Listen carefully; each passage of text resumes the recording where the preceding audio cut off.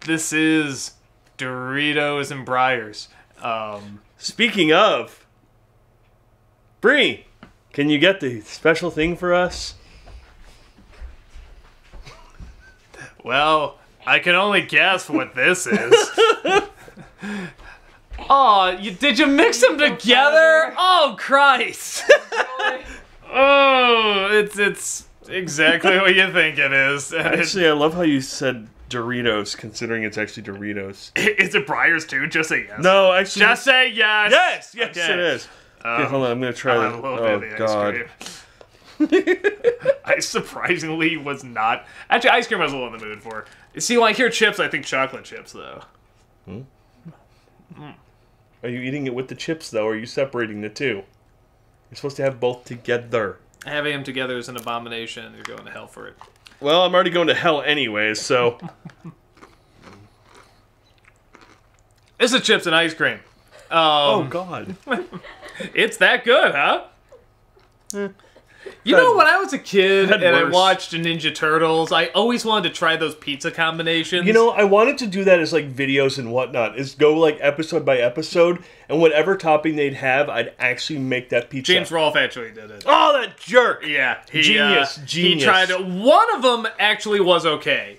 Uh, he said all the others were terrible, but what I want to say it was like marshmallow and pizza or something like that. Like there was one that was actually all right, but yeah, the rest were apparently really nasty. Uh, so okay, uh, this is an episode where this uh, I'm good. Ah. oh fuck.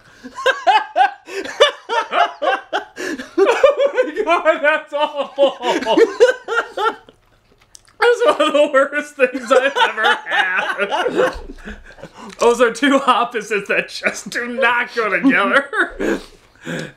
That's that's amazing. But what am I? I was gonna take it away. Oh no, I want the actual ice cream. the ice cream I'll eat. I love how he leaves the chips still in there. Well, I mean, where am I gonna put? I guess I can put them in yours. So pretty much what it is is that this bear has these two, uh, these two little creatures on his head that just say chips and ice cream, and he does a little puppet show with them, and BMO loves it. All these little kids love it, and uh, so they invite him over to dinner, and he, over the moonlight, transfers the little creatures onto Jake's head.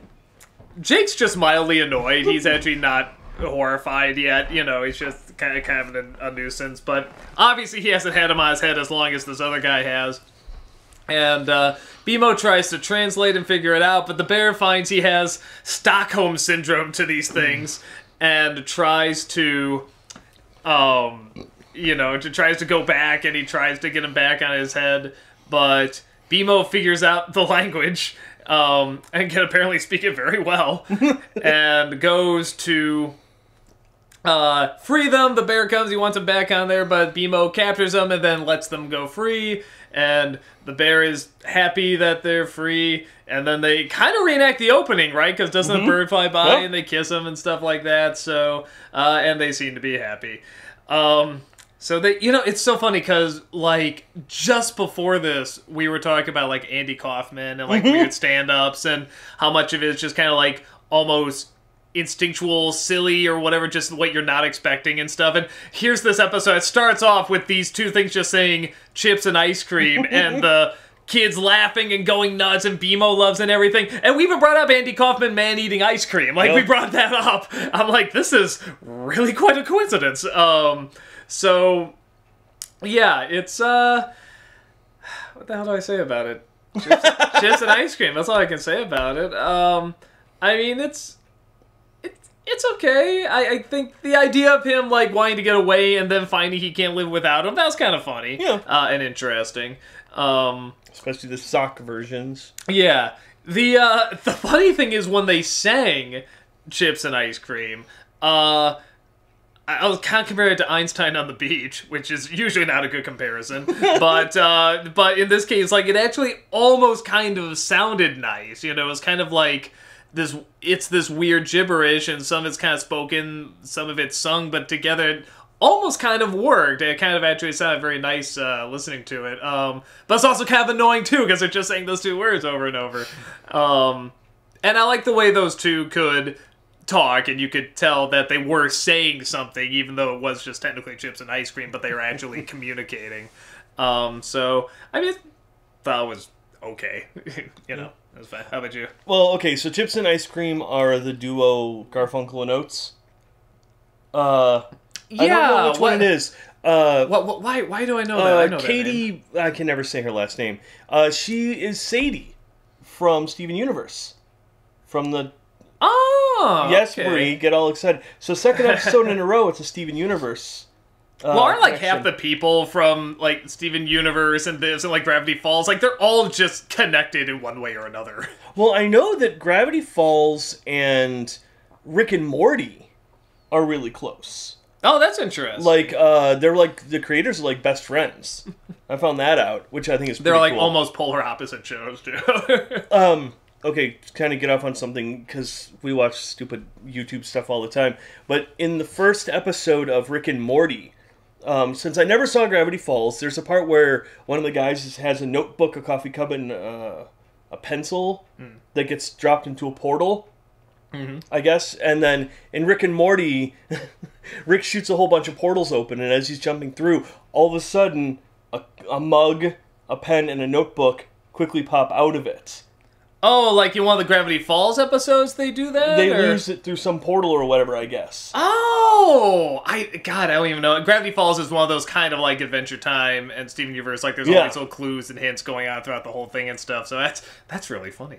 Um, So yeah, so I know there's a connection there. With Adventure Time, I don't think there's as much of a connection. I just know that like uh, Katie uh, Chips, uh, I know her actually from first from Malcolm in the Middle.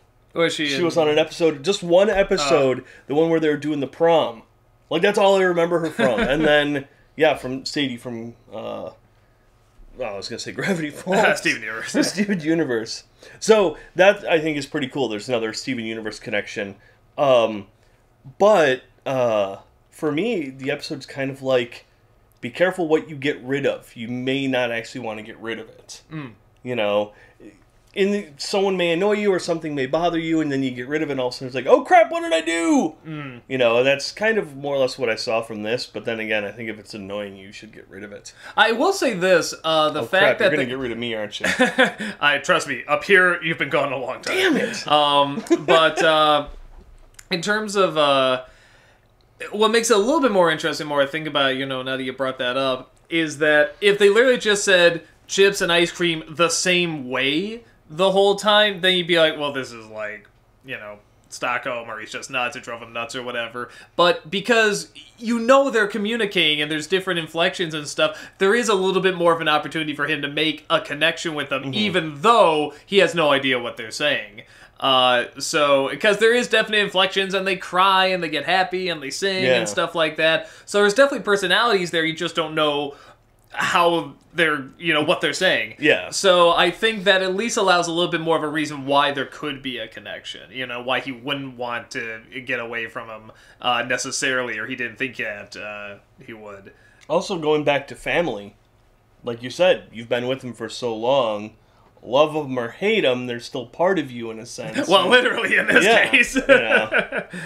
uh, I thought it was interesting, but then again, if I had something saying chips and ice cream over and over in my freaking head, I'd probably, I'd wanna get I'd rid of probably those take things. scissors or something and No, I, I probably want to do what BMO's doing. I would try to figure out how to communicate. That'd be the first. Because clearly they have inflections and, you know, kind of personalities and stuff. That would be the first thing. I'm like, okay, I gotta, gotta be able to communicate with these things somehow. Uh, I'd be doing what BMO was doing. Um, and then cut them off and say never come back. Um, taco, burrito. taco, Burrito? Taco, taco. Burrito. Burrito. Taco, taco, taco, tac, tac, taco, taco. Burrito. I'm done.